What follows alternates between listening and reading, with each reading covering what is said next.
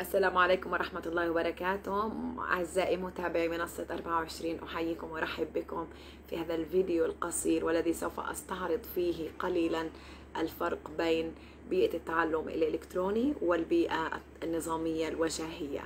معكم المعلمة أسماء مصطفى معلمة لغة إنجليزية في وزارة التربية والتعليم. أهلا بكم.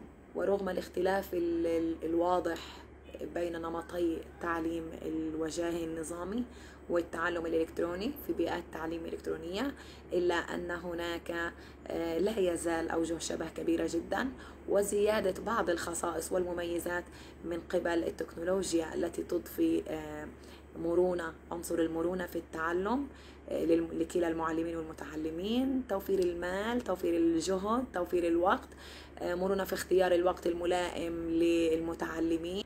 بالنسبة للقاءات المباشرة بين المعلمين والمتعلمين هناك لقاءات عبر ال Zoom Skype Hangout Meet كلها هذه تبث بشكل مباشر.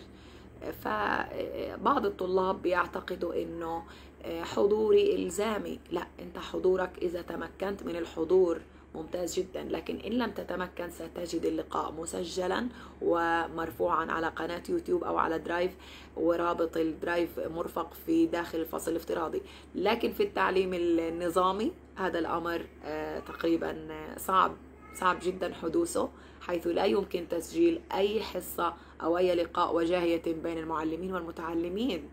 أما عن المعلم الذي يتكبد عناء شرح نفس الحصة في أكثر من غرفة صفية نظامية آه، ما عليه إلا أن يشرح نفس المحتوى لجميع الطلاب في بيئة تعلم إلكترونية واحدة تجمعهم لكن كل واحد في بيته في مكان مختلف حقيقي فيزيائي. في التعليم نظام التعليم الوجاهي يطلب من المتعلم الحضور للاختبار التحصيلي آه، بمفرده.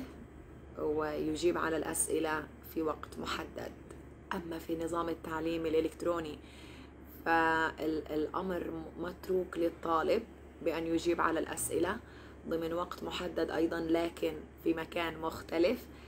مع الطالب آه، صلاحية بأن يبحث علميا وهذه مهارة يجب علينا جميعا أن نتعلمها. الأمر ليس مرتبطا بتحصيل الطالب وعلامته فقط الأمر مرتبط بإكساب الطالب بعض المهارات العلمية بما, بما في ذلك مهارة البحث العلمي آه، لكي يحصل على المعلومة. وهذا ينمي لدى الطالب آه، طريقة حل المشكلات بشكل أفضل. ويعزز من قدراته الذاتية لقيادة مستقبله وإدارة ذاته بطريقة أفضل. فالتعليم الإلكتروني إيجابي. آه، جيد أن نركز فيه في الفترة القادمة. آه، لكن آه، لا غنى عن وجود المعلم على التأكيد داخل الغرفة الصفية. فالمعلم هو العمود الفقري للتعليم لنظام التعليم كله في أي بلد كان.